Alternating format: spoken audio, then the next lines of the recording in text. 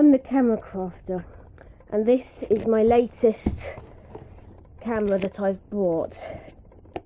This is an Agilux Agimatic 35mm rangefinder camera. Um, yeah, it takes 35mm film. Uh, I'll just show you how the rangefinder works. In there, a little dot that's sort of orange. What you do is you line, you focus it so it's the image in the in the little dot lines up with the um, image on the rest of the viewfinder. And the way you change the uh, focus in the rangefinder is with this little wheel here. And then whatever focus distance it says on here, you put onto the focusing ring here. Uh, it has different shutter speeds from 350 to brief. And this comes interesting because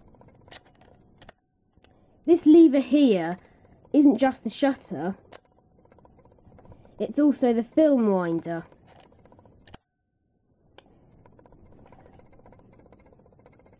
Um,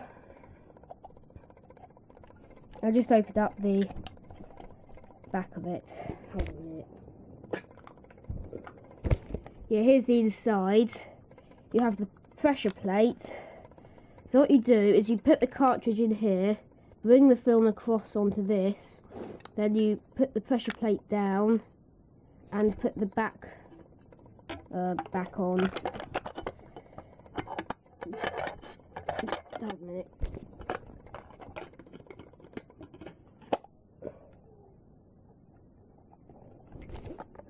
There. Um, this also can take different lenses. Although there's only one other type of lens, which is a telephoto zoom lens. Uh, how do I put that back on?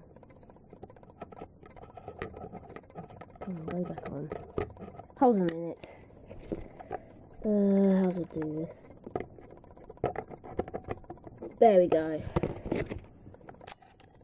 Um, it's this camera's from the 1950s, and it was made in Croydon. This here is the rewind lever. Um, hot shoe for the flash, some calculator thing, and uh, it came with this, which is a photocopy of the instruction manual. Um,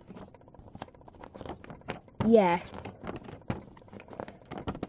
As you can see, you could get accessories for it, which this didn't come with.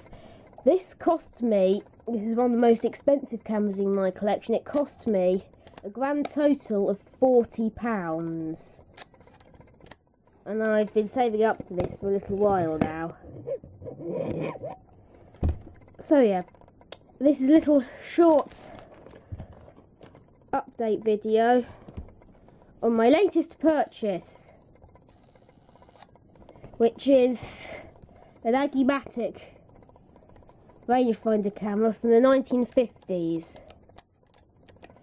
So yeah, I'm the camera crafter and goodbye.